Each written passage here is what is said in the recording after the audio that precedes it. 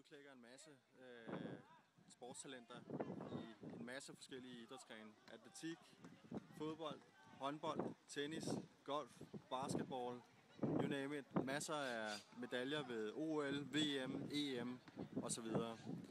Vi er i det spanske sportsministerium, og som helt klart er en af årsagerne til den spanske sportslige succes i disse år. Oppe i baggrunden, der ser vi øh, hotelværelser og skole, øh, der hvor at udøverne øh, i, på tværs af en masse forskellige sportsgrene bor øh, og går i skole. Øh, og her foran os, der ser vi øh, nogle af træningsfaciliteterne til blandt andet volleyball, tennis og atletik. I baggrunden det indendørs imponerende øh, atletikstadion, eller træningsfaciliteter. Der er også boksning og andre idrætsgrene.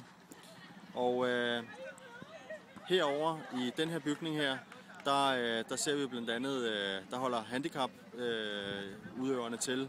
Øh, det er et af de områder, som øh, bliver, bliver, bliver prioriteret højt i, i spansk øh, sport.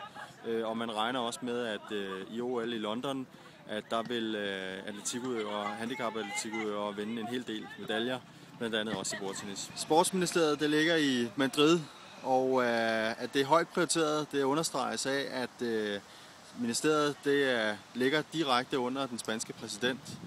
Øh, her foran os, der ser vi øh, selve ministeriet, og i, øh, i etagen her lige fremme øh, for os, der ligger blandt andet bordtennis og øh, gymnastik øh, og andre sportsgrene, der træner dagligt. Vi bevæger os ind for at kigge nærmere på øh, blandt andet bordtennis. Her ser vi så øh, spanierne stå og træne her i, i sportsministeriet. Øh, der er fem spillere, øh, som i dag er til træning. Øh, der går normalt seks øh, på, øh, på, det her, på den her skole, som øh, har med bordtennis at gøre.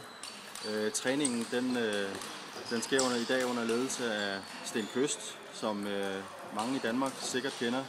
Øh, Sten har, øh, er sportschef i, øh, i Spanien og har tidligere også arbejdet i, i, øh, i Danmark og i England.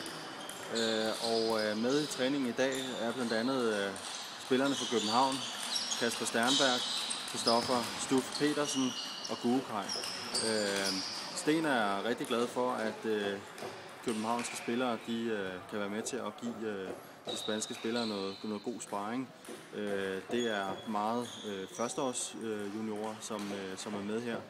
Øh, og, og Sten har fortalt, at øh, noget af det, som man satser meget på, det er at og hvad skal man sige, at øh, skabe en, en bedre og hårdere træningskultur her øh, blandt de, øh, de spanske øh, ungdomsspillere. Øh, og øh, noget af det, jeg også har hørt øh, vores egne spillere sige, det er, at de er meget imponeret over den øh, hårde træningsindsats, som øh, de spanske spillere, ungdomsspillere, de øh, lægger for dagen. Benhårdt. To gange om dagen. Øh, cirka 5 timer om dagens træning. Øh, og øh, 5 timer om ugen, eller 5 dage om ugen.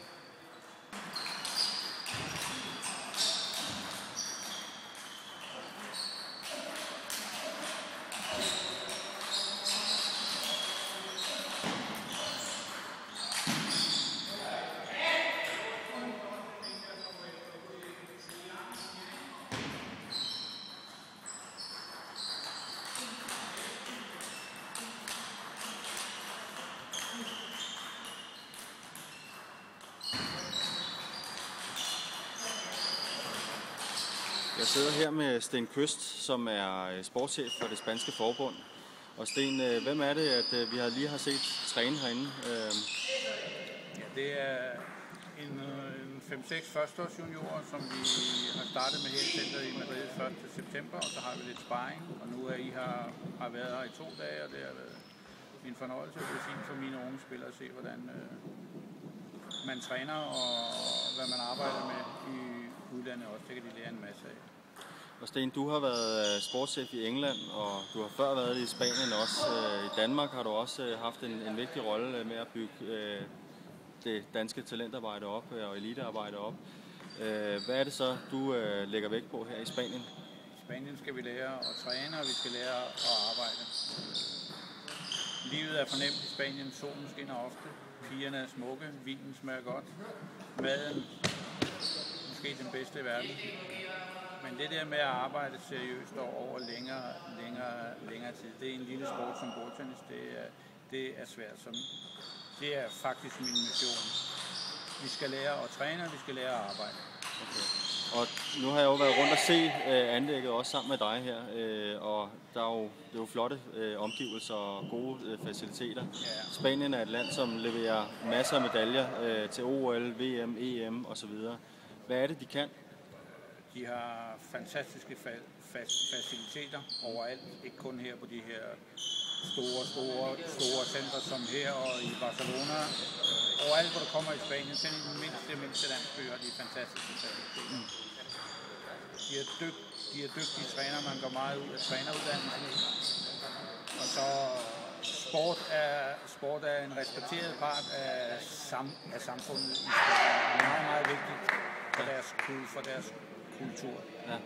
Og er der noget af det, vi kan lære i, i Danmark? Er der noget, vi kan bruge øh, det, som de gør i Spanien? Jeg synes, især på den økonomiske front, øh, i de olympiske perioder, der ved du nøjagtigt, hvor mange penge du får. Mm. Hvis der sker ændringer, så får du flere penge, end du er blevet lovet. Men man rører ikke ved, øh, hvad skal vi sige, den, den base, du ved, du, du ved, du har. Og det giver lidt ro i dit, arbejde, fordi i dag, og specielt i en lille sport som bordtennis, er du nødt til at arbejde lang, langsigtet hver eneste gang. Mm. Der er meget politisk debat mm. hernede, som i alle andre steder, også i, bord, også i bordtennisporten, men den økonomiske side af sag- sagen fungerer. Okay. Og det giver, et vis, øh, det giver en vis ro. Ja. Nu i morgen lørdag, der møder vi øh, Garcasur Priego, øh, og øh, kan du fortælle lidt om, om, om det hold og vores modstandere Ja, det er jo en unik klub i Spanien med eget, med, med eget center. Mm. Og øh, deres hold er, der er en legende i europæisk bordtennis, en gammel kines. Han er nu i Spanien i over 20 år. Hisi Wen, han er 49. Spillede sidste 16 i Europamesterskabet her i Gdansk. Så har de den spanske mester Carlos Machado, mm. som er en rigtig, rigtig dygtig spiller også. Tredje manden, jeg tror, de spiller med en, der hedder José Miguel fra Guatemala. Mm. Han er ikke på samme niveau, men kan stadigvæk spille. Og jeg glæder mig utrolig meget til at se kampen i morgen, og jeg tror, det bliver 50-50. Okay.